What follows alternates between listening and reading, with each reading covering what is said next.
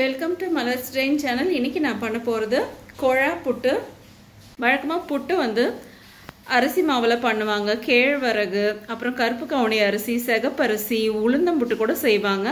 நான் வந்து இன்னைக்கு எல்லாமே கலந்து சத்து மாவு கஞ்சிக்காக அரைச்சி வச்சுருந்தேன். அதில் தான் நான் புட்டு செய்ய போகிறேன் நான் வந்து அரைச்சி வச்சுருந்தேன் சத்து மாவு கஞ்சி இது புட்டு புட்டு செய்யக்கூடிய வீடியோ அப்படின்னாலும் கூட இந்த கஞ்சியை பற்றி நான் சொல்லி ஆகணும். கொஞ்ச நாள் வந்து ரொம்ப டயர்டாக ஃபீல் பண்ணேன். எந்த வேலை செய்தாலும் உடனே டயர்டாச்சு நான் வந்து யோகா நல்லா பண்ணுவேன். நிறைய வேலை செய்துட்டு இருக்கக்கூடியது தான் திடீர்னு ஏதோ ஒரு டயர்ட்னஸ்ஸு ஸோ நான் சாப்பிட்ற சாப்பாட்டில் இருக்கக்கூடிய நியூட்ரிஷன் வந்து கம்மியாக இருக்குது அப்படின்றது தெரிஞ்சுட்டு இதுக்கு என்ன பண்ணலாம்னு யோசிக்கும் போது நான் வந்து இந்த கஞ்சி வந்து ப்ரிப்பேர் பண்ணேன். ஐ திங்க் என்னோட சேனலில் இது வந்து என்னோட கடைசி வீடியோன்றதுக்காக தான் இதையும் நான் சேர்த்தே வந்து போடுறேன். வழக்கமாக வந்து கஞ்சி மாவு வந்து நான் ஏற்கனவே வந்து சத்துமாவு சத்து மாவு கஞ்சி வீடியோ போட்டிருக்கேன். என்னோடய சேனலில் நிறைய ஹெல்த்து சம்மந்தப்பட்ட ரெசிபிஸ் வந்து நிறையவே போட்டிருக்கேன் அப்படின்னாலும் இதையும் நான் சொல்லிடுறேன். இது வந்து நான் ரொம்ப இந்த உடம்பு வலிக்காக வந்து என்ன பண்ணலான்னு யோசித்தேன்னும் போது கேழ்வரகு சேர்த்தா சுகர் அதிகமாகுது கம்பு வந்து அலர்ஜியை கொடுக்குது. ஸோ அதை ரெண்டும் அவாய்ட் பண்ணிவிட்டு இன்னும் என்ன பண்ணலான்னா மூங்கில் அரிசி வந்து எனக்கு வந்து நல்ல கால்சியம் கிடைக்கும் நல்ல புரோட்டீன் கிடைக்கும் அப்படின்னு சொன்னாங்க.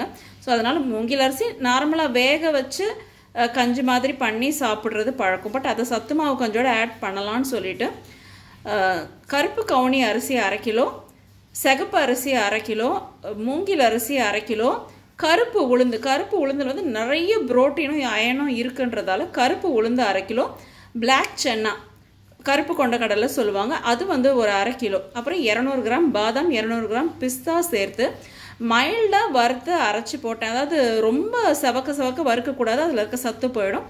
நல்லா அரிசி வந்து நல்லா சூடு ஏறிட்டு லைட்டாக வறுபட்டாலே போகிறோம் நல்லா ஆற வச்சு அரைச்சி எடுத்துட்டேன். இதில் வந்து நான் புட்டு வந்து இதோட ரெண்டு தடவை செய்துட்டேன் சூப்பராக வந்திருந்தது.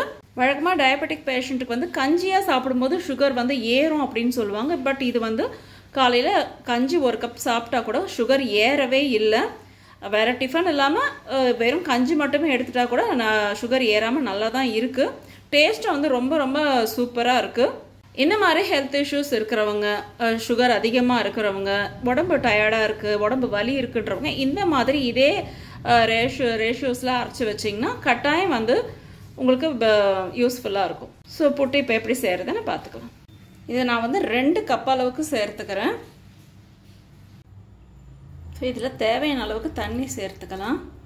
இது வந்து குழா புட்டுன்றதால உதிராமல் வரணும்னா கொஞ்சம் வந்து தண்ணி எக்ஸ்ட்ராவாக தான் ஊற்றி பிசைஞ்சிக்கணும். நம்ம பாத்திரத்தில் வச்சு அவிச்சு செய்கிற புட்டாக இருந்ததுன்னா லேசாக தண்ணி தெளிச்சுக்கலாம். இது கொஞ்சம் எக்ஸ்ட்ராவாக அதை விட கொஞ்சம் எக்ஸ்ட்ராவாக ஊற்றிக்கணும்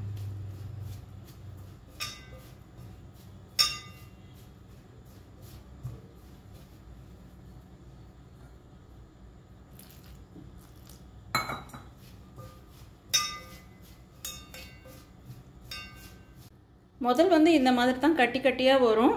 கட்டியெல்லாம் நல்லா உதிர்த்து விட்டுக்கணும்.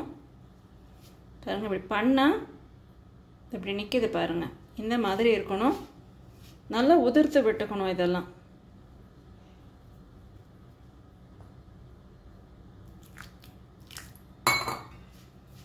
இன்னுமே கொஞ்சம் ஊற்றிக்கிறேன் இது அப்படியே நம்ம தண்ணி தெளிக்க தெளிக்க அது அப்படியே காணாத போகுது பாருங்கள் அப்படியே இழுத்துரும்.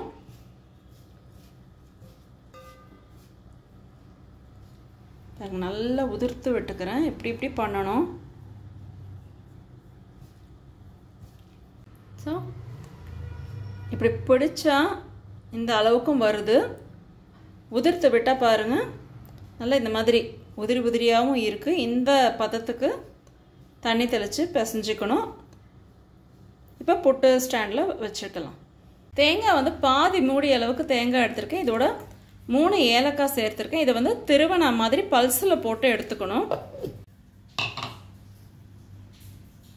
இந்த அளவுக்கு பூந்து ரோலாக இருக்கட்டும்.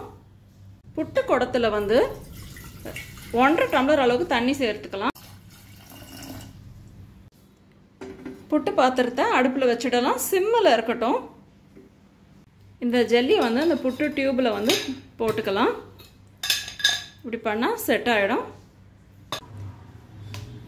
இந்த புட்டு ஸ்டாண்டை வந்து அடியில் ஒரு தட்டு வச்சு வச்சுக்கலாம். இல்லை மாவு இதில் போடும்போது சிந்திடும்.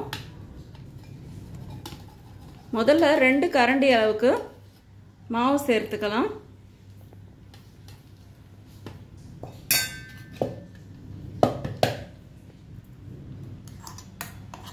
அடுத்து தேங்காய் ரெண்டு ஸ்பூன் சேர்த்துக்கலாம். இது வந்து அழுத்தி எல்லாம் விடக்கூடாது. அப்படியே உதிரியாக தான் இருக்கணும். இப்படி சும்மா தள்ளி தான் விடணும். அடுத்து மாவு சேர்த்துக்கலாம்.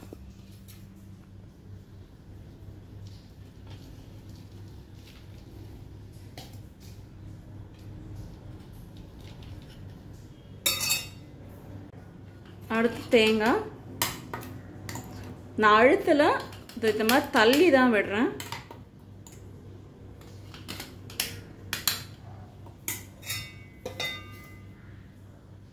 அடுத்து கொஞ்சம் மாவு. ஸோ இப்போ இது ரெடி ஆகிடுச்சு பொட்டு பாத்திரத்தில் வச்சிடலாம். இப்போ இது மேலே வச்சிடலாம். அழுத்தியெல்லாம் விட வேண்டாம். சும்மா லேசாக இப்படி பண்ணால் போகிறோம் அப்புறம் எடுக்கும்போது சுடும் கஷ்டமாக இருக்கும். இந்த மூடியிலையுமே வந்து ஹோல்ஸ் இருக்குது இது வழியாக வந்து ஆவி வரும். இதையும் வந்து லேசாக தான் மூடணும்.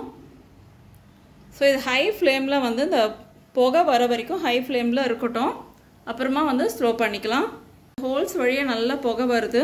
இப்போ வந்து அடுப்பை வந்து சிம்மில் வச்சுக்கலாம். கரெக்டாக வந்து அஞ்சு நிமிஷம் கழித்து இறக்கிக்கலாம். ஃபைவ் மினிட்ஸ் ஆகிடுச்சு ஆஃப் பண்ணிக்கலாம்.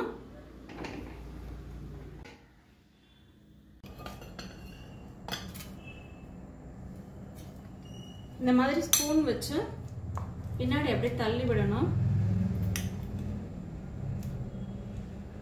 தேங்காய் இருக்கிறதால தனித்தனியாக தான் வரும்.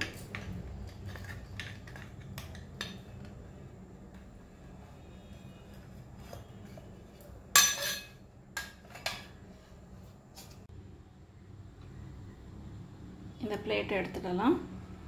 பாருங்கள் சூப்பராக வந்திருக்கு. குழாப்புட்டு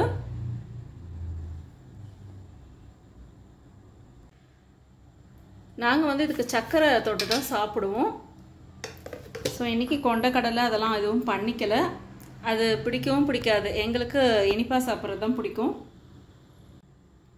பாருங்கள் நல்லா சாஃப்டாகவும் இருக்குது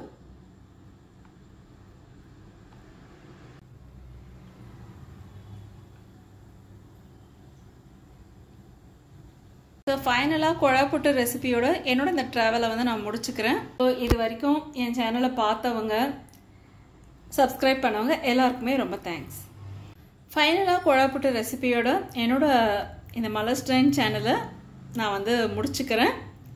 தேங்க்யூ